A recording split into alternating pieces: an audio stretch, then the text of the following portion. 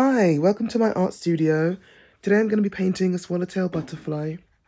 I start by making lines and doing the outline. Then I just fill in the colours, the veins, different things like that, going back and forth each wing till I get something that looks symmetrical. I'll be painting quite a lot of these, so if there's any butterflies you want to see painted, let me know. Message me. Thanks for watching.